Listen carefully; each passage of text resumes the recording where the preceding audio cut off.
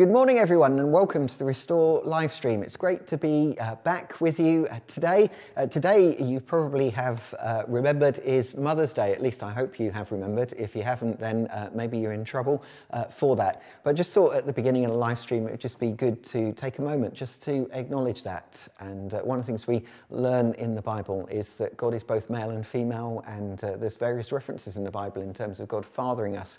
Um, but also there's some verses uh, that talk about uh, kind of the mother heart of God as well. And uh, it's great to recognize the input of uh, mothers uh, into the world, uh, but also into our lives. So we just want to take a moment really just to celebrate uh, every uh, mother that's watching this and also celebrate the contribution of every mother into our lives. Uh, obviously, we've all had physical mothers, um, but also we have probably had spiritual mothers or people that have significantly invested into our lives, as well as occasions like this sometimes can be uh, moments of pain as well, because uh, maybe we're grieving the loss of a mother, maybe we're uh, grieving the loss of, of maybe a relationship that wasn't quite how we would want it to be. Anyway, I thought it would be good to take a moment just to be able to pray uh, this morning and, uh, and acknowledge all of that really into our lives today. Lord, I thank you that uh, uh you reveal yourself uh, in Scripture as a, as a parent and as a great uh, parent. And Lord, we acknowledge, Lord, that we're so grateful for the impact of parents into our lives. And today we want to celebrate uh, the impact of every mother uh, into our lives. We want to celebrate mothers uh, around this uh, country. We want to celebrate every mother uh, tuning in today. And we want to pray that they will know that they're celebrated and know that they're loved. And we want to thank you for every positive contribution that we've had in our lives from our physical mothers, uh, but also from spiritual mothers as well. And uh, Lord, if uh, today does stir a lot of emotions, uh, that maybe makes it a difficult day, Lord, we just want to take a moment to bring you into the midst of all of those emotions. And today we're looking at you being a God who heals. And Lord, I pray that you will release your healing into any grief or sorrow that we may be carrying today. In Jesus' name, Amen. So, today we're continuing our series called The Spirit Speaks. Uh, as you'll know, if you're a regular uh, viewer of this, uh, we this year have had a real sense that God is wanting to do something fresh in our midst uh, through the working of His Spirit. That's why we started off looking at Ezekiel 37, and uh, part of that is uh, dry bones being brought back to life because God breathes on them. And you'll know the same word that's used in Scripture for breath is the same word that's used for spirit. And so God pours out his spirit and he gives new life to dead bones. And uh, continuing with that theme, we've been looking at different gifts of the spirit and different ways that God's spirit, that God's breath works in our lives. And today we're going to talk about one of the gifts of the spirit, which is the gift of healing. I'm going to read a couple of verses from 1 Corinthians chapter 12. In 1 Corinthians chapter 12, Paul lists the different gifts or some of the different gifts of the spirit. And he says this starting at verse 7. He says, Now to each one the manifestation or the working of the Spirit is given for the common good. In other words, God's Spirit is poured out into us in order to be able to bless others. And he goes on and says, To one that's given um, through the Spirit a message of wisdom, to another a message of knowledge by means of the same Spirit, to another faith by the same Spirit to another, gifts of healing by that one Spirit.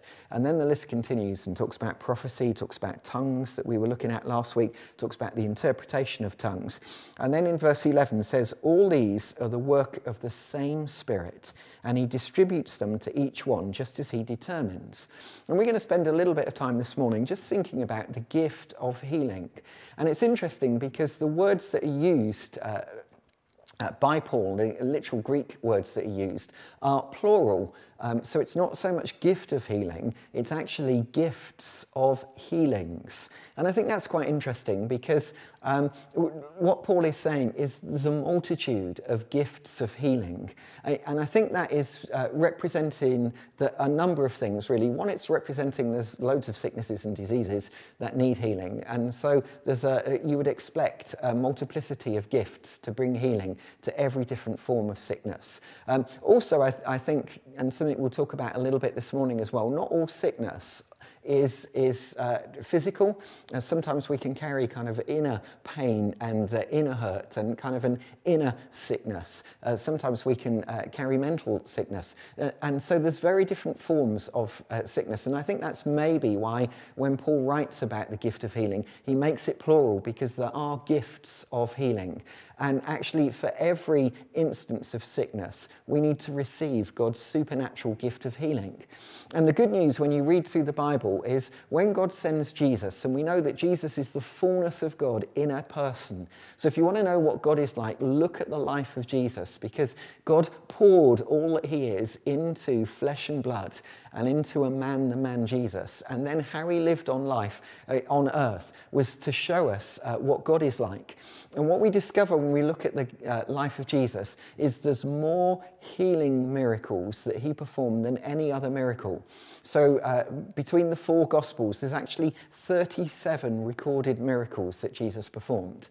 And 30 out of those 37 miracles are healing miracles, where people were either set free from uh, some oppression or were supernaturally healed of some physical ailment. So the other seven miracles were uh, miracles to do with creation, so like the feeding of the 5,000, the feeding of the 4,000, where Jesus multiplied bread, there's the calming of the storm. So there's, there's uh, different uh, miracles that involve nature, but 30 out of 37 of the miracles that Jesus performs are healing miracles. One of the things I think that says to us right at the very beginning is God loves to heal. So if you're sick today or you feel like you're carrying sickness of any form in your body, know that God would love to meet with you and release the gift of healing to bring change and transformation into your life. And we know that because we see it in the work of Jesus and in the life of Jesus. Now, Mark's gospel is actually the shortest of all the gospels, but interestingly enough, it has the greatest number of healing miracles in it. So if you want to read about Jesus and how he healed people, Mark's Gospel is a great place to start. And what I want to do today is I want to read my favorite healing story of uh, Jesus from Mark's Gospel. And it's actually the first uh, detailed story of Jesus encountering a sick person and bringing healing to them. And I'm going to read the story. It's only five verses long, So it's not very long. But I'm going to draw some points out that I think uh, help us understand how Jesus heals and wants to bring healing. And of course, we live in a, we know we live in a very broken world. And so maybe it's no surprise that into a broken world, that through all that brokenness, there's so much pain and suffering that so many people have to endure, that we all have to endure in one form or another. Um, it's such uh, good news that God comes as the God who heals into that situation. So we're going to read from Mark chapter 1. I'm going to read from verse 40 through to 45. And it's when Jesus heals a leper It says this it says, A man with leprosy came to him and begged him on his knees, If you are willing, you can make me clean. Jesus was indignant. He reached out his hand and touched the man. I am willing, he said, be clean. Immediately the leprosy left him and he was cleansed. Jesus sent him away at once with a strong warning See that you don't tell this to anyone. But go show yourself to the priest and offer the sacrifices that Moses commanded for your cleansing as a testimony to them. Instead, he went out and began to talk freely, spreading the news. As a result, Jesus could no longer enter a town openly, but stayed outside in lonely places. Yet the people still came to him from everywhere. So it's, it's a really simple story, but actually it's a really powerful story. And it may only be five verses, but I think there's a real depth of, uh, of understanding that we can find about the heart of God from it. First thing I want to say is that leprosy, um, it, the word that we, that we translate as leprosy from the Greek is actually a wider term than just for leprosy. And actually, the Greek word uh, really um, is a catch all word for any skin disease. So, although it says a man with leprosy came to Jesus, actually, what we can be confident of is that it was a man with a skin disease that came to Jesus.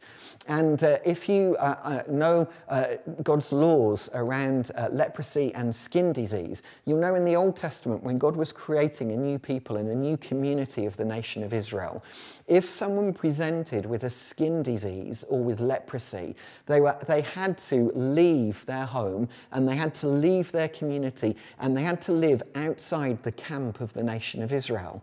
Now, you think that seems quite a stern thing to do for someone uh, who uh, just so happens to have caught leprosy or some other contagious illness. But actually, when we think about it, in, this is the days before uh, physical medicine, this is the days before qualified uh, doctors and hospitals.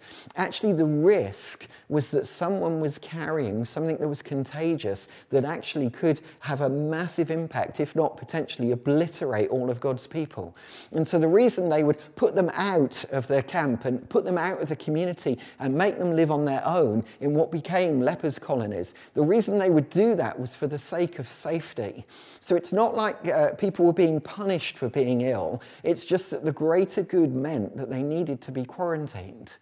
But obviously, the impact of that was people not just en- ended up suffering from a physical ailment, but then they, on top of that, suffered the, uh, the pain of separation and exclusion and what have, would have felt like um, uh, rejection from their family, from their community, from their home. So there was a huge amount of loss for anybody presenting with a skin disease um, like this leper in Mark chapter 1.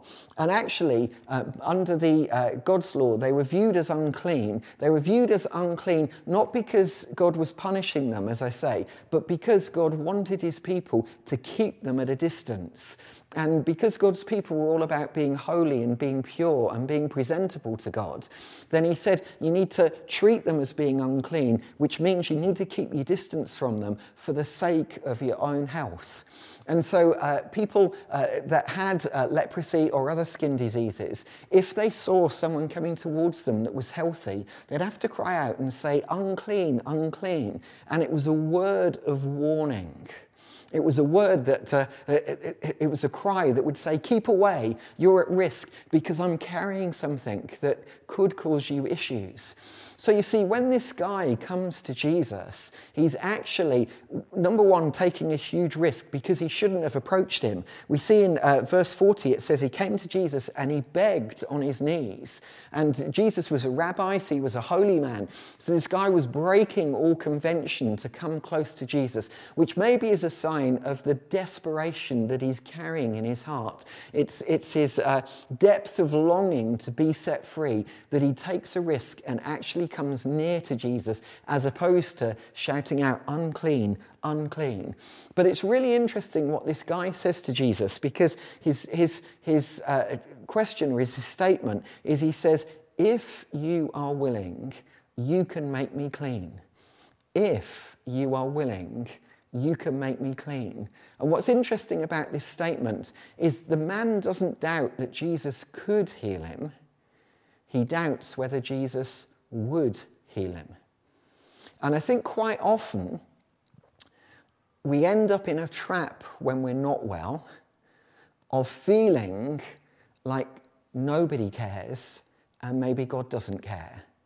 And you feel like the impact of this guy's journey of being ostracized by his community has actually not just uh, meant that he's carrying a physical ailment, but it feels like something's been ripped on the inside. And actually, he's not sure that anybody really cares. And because he's not sure that anyone really cares, he's lost his certainty that even God cares. And what's so beautiful about this passage is the way that Jesus responds to this. And as I said earlier, for some of us, we carry the outer sicknesses. You know, maybe we've got a pain in our body or we're uh, physically uh, carrying some sort of illness. But for other ones of us, it's maybe the treatment by other people, the words that have been spoken over us, the sorrows and the disappointments that we've carried, but they've left us crumbling inside. And you see, when we unpack this miracle, what we're finding is a guy who doesn't just physically get healed, but actually some of the inner stuff, some of the pains and the loss that he's carrying in his heart also gets healed. And what is so beautiful is the way that Jesus responds. And I'm reading from the New International Version, and in verse 41 it says, Jesus was indignant by which it doesn't mean Jesus was angry at the man. The word that's translated for indignant, indignant elsewhere in the Gospels is actually translated for um, Jesus felt compassion. It's the same word that Jesus, uh, it says of Jesus when he looks at the crowd and sees they've got no food. And so he takes the five lo- uh, loaves and two fishes and multiplies them and feeds the 5,000. It, it's, a, it's a longing to do something about it. And actually, the Greek word means, means like a stirring in the very guts of you. So it's like Jesus' uh, innermost being, the depths of who he is, were stirred to say, this isn't right and something needs to change. I think that's really powerful just to reflect on. You know, God, when he looks at the state of this world, something stirs in his heart and says, This isn't right. And you know, sometimes we put on the news and we read some of the horrors, we read some of the mistreatment, we read about some of the inequality, we read about some of the exclusion that happens today. Maybe sometimes on the basis of race, sometimes on the basis of gender, sometimes uh, economically. Um, God looks at that and something within him gets stirred. And sometimes, you know, we feel a sense of anger, a sense of injustice about it because we're picking up and we're reflecting the heart of God. And Jesus, he feels compassion, he feels a stirring in the very depths of who he is. And then he does what nobody in Jewish culture and no rabbi and no Pharisee would have dared to do. He reaches out and touches the guy. And all the way through the Old Testament, it tells you if you come into contact with anyone who's unclean, if you're uh, in close proximity to anyone who's unclean, you need to run away because if they touch you, their uncleanness will make you unclean. And Jesus was so carrying the love and compassion of God. He broke the conventions of the day. And Jesus was so confident in who he was as God on earth. He was so confident in the healing power of God. He knew that he could touch something that was unclean. And rather than be, become unclean because of it, the cleansing power that he was carrying, the healing that he was carrying, would cross the divide and bring transformation into this guy's life. Isn't that amazing? Whatever pain you're carrying this morning, however deep your heartbreak, however extreme your illness, know that the compassion of God means He wants to cross the divide. He wants to cross the barrier. He wants to touch you and say, I love you and I'm with you. And remember, this guy starts off with this question, which is, I, if you are willing, will you? Heal me if you are willing. So his question is, will you? I know you can, but actually, uh, will you? And Jesus' answer is, I am willing.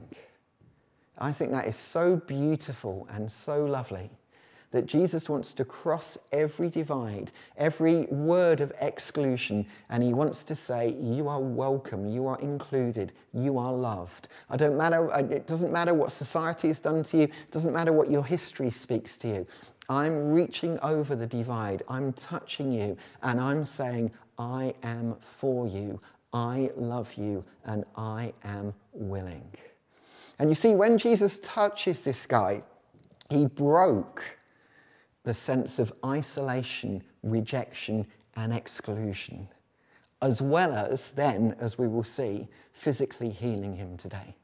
And I think that's so beautiful. You see, Jesus wants to bring wholeness into our lives. The Greek word for salvation actually means wholeness, and, and it's a word for completion. And so when we invite Jesus into our lives, what we're asking for is not just for our history to be forgiven, although that is an amazing thing that is a, is a transforming work of the cross.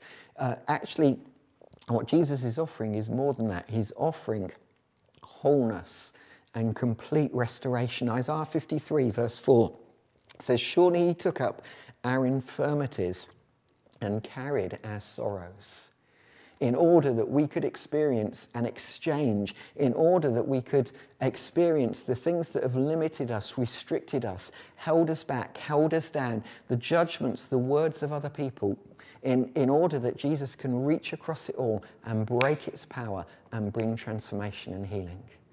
And can you imagine? We don't know how long this guy had, uh, leprosy or this uh, disease. We don't know how many years he'd been separate from family. We don't know how long it had been since he felt the touch of another human being. And God Himself reaches out and puts His arm, His hand, on the guy's arm.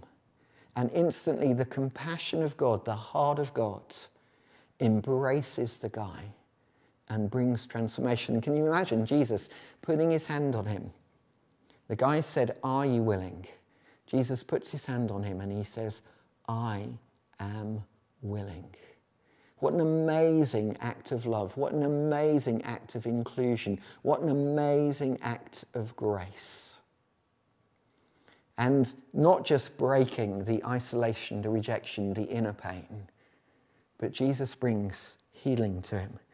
Verse uh, 42 immediately, it's one of Mark's favorite words, immediately, leprosy left him and he was cleansed the beauty of the gifts of healing that Paul offers us, that are the outworking of a life lived in his spirit, is that we can expect, as God moves in us and through us, we can expect God's compassion to come and bring healing and restoration. And of course, if you want to grow in effectiveness in terms of ministering healing to other people, one of the keys, it seems to be from reading the Gospels, is compassion in the story of the Good Samaritan, one of the famous stories that Jesus tells. Uh, but uh, in that story, we have um, a uh, priest who uh, sees someone in need and he's too busy, so he goes over on the other side of the road. We have an Israelite, uh, a member of God's community, uh, coming home from worshipping at the temple, cross over the road, they're too busy, they don't care enough. And then we get the Good Samaritan, and it says that the Good Samaritan felt compassion. And Jesus uses that story really to say we need to have compassion. And actually, if you want to grow in God using you to bring healing into others, whether that's physical healing, whether that's emotional healing, then the thing to ask God for is God, give me grace. God, give me compassion. God, help me to be stirred with the things that stir you. God, help me to be indignant to see somebody suffering. God, help me to uh, uh, not just sit idly by, but to do something. And you see, when we carry the heart of Jesus, then we can expect to see the power of Jesus start to flow through us. But if we don't carry the heart of Jesus, how can we expect the power of Jesus still to flow through us? So, just a simple tip really if you want to grow in terms of uh, your experience of seeing God use you in healing, ask God to grow your love for other people, your compassion for other people, a compassion that's willing to reach out and touch maybe those people that no one else is willing to spend time with or offer words of hope to or words of encouragement to.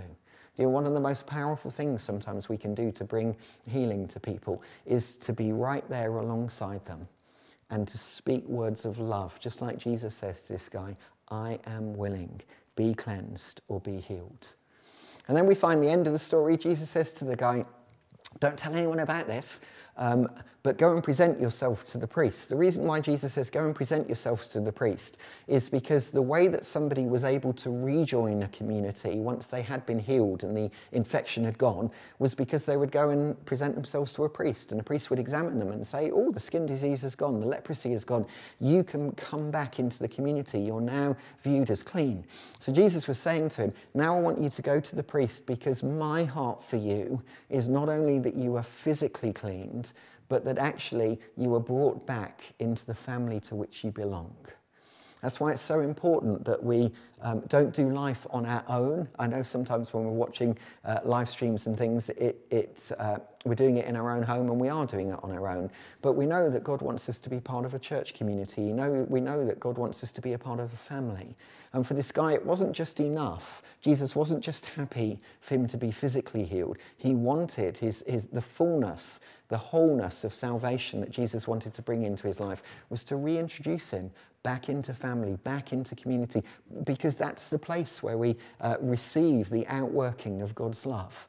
So I want to encourage you this morning if you're watching this and you're not well connected into church, connect yourself into church. Send us an email, info at restorecc.org.uk or ian.king at restorecc.org.uk, and we'll connect you into a congregation, we'll connect you into a small group, we'll connect you into a place where you can feel that you belong and you're known and you're loved. Jesus' heart for this man was full integration, full restoration, inner and outer. He also said to the guy, Don't say anything to anyone. Um, and uh, maybe not surprising, really, uh, the guy, his whole life had been transformed in a moment. The guy couldn't help but tell other people. And we kind of think, well, why didn't Jesus say, you know, just go and tell everyone? Because that would be the quickest way for everyone to learn about Jesus. And we actually learn that from the uh, last verse in this passage. We find that the problem with this guy going and telling everyone is the crowds search for Jesus which means Jesus isn't free to go the places where God is leading him to go or to do some of the things that God wants him to do because of the power of the crowd. And uh, it's a really interesting thing, isn't it? Sometimes it's the cry of the crowd and the demand of the crowd that pulls against the thing that God wants to do in our lives. And sometimes to go deeper with God and to please God, we actually need to turn our backs on the crowd so that we can tune into what God says rather than what the crowd says. Maybe there's something about that, a lesson for that for contemporary culture, that rather than just do what uh, the crowd of our culture would do, actually we want to separate ourselves from that so we can hear what God's doing. And Jesus, it says he, he went to a lonely place. That's the same word that's used for wilderness, which is the place that Jesus goes to be able to tune in uh, again to the voice of his Father. Maybe if you want to grow in a healing ministry, maybe that's one of the keys for you to let go of some stuff so that you can better hear the voice of God and uh, better, therefore, flow uh, in the Spirit of God. Put, um, it, we learn in the Bible there's a battle between the work of the Spirit in our lives and the work of the flesh, which can be the work of the culture and the crowd that surrounds us. And so sometimes we need to let go of one so we can embrace the other. And uh, for Jesus, he's restricted because this guy tells other people. So it's not that Jesus doesn't want the good news spreading. It's just that he's concerned that he wants to be able to do the things that God has called him to and not be pushed off course by the crowd. Maybe you're watching this this morning, and maybe actually, if you were honest and realistic about your life right now, the truth is you've been pushed off course by the call of the crowd and the pull of the culture. And maybe this morning Jesus is wanting to call you back and said, You need to let go of that to come back to follow me because I've got more for you. I've got something better for you. I've got life in all its fullness for you. But coming back to our main point, this is a beautiful story of Jesus interacting with an individual and responding with exactly what the individual needs right the way through uh, all the different gospel stories, we'll find out that Jesus interacts with people differently. He treats them differently because we're all unique. And uh, our route, our pathway to healing, the, uh, the specific gift of healing we need will be different according to our context and who we are. And Jesus takes the time to make what is general specific. And in a moment, I'm going to pray, and I'm going to pray that Jesus would come and touch us and release healing, and that we would know that we are uniquely loved by our Heavenly Father, just like this guy uh, discovered, and therefore can know the fullness of life and transformation He wants to do in our lives. Mark ends his gospel saying, um, that uh, uh, when he commissions his disciples to go into all the world and make disciples of all nations, he says that we will lay hands on sick people and they will be healed. And so, a church operating in a way that honors Jesus will be a church that has faith and an expectancy that God will flow through us to bring healing to others. So, we're going to pray. We're going to pray for healing right now. Lord God, I thank you. This is an amazing story that displays your heart. And uh, thank you that healing for this uh, guy came actually really simply and really gently. But thank you, Jesus, you knew, Lord, not just the physical healing he needed, but you knew the inner heart healing that he needed. And Lord, in these moments, we just want to offer our hearts up to you.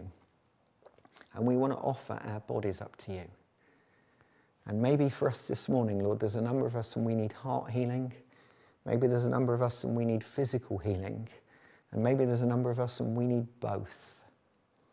Lord, I thank you that you're the God who is willing and who is able.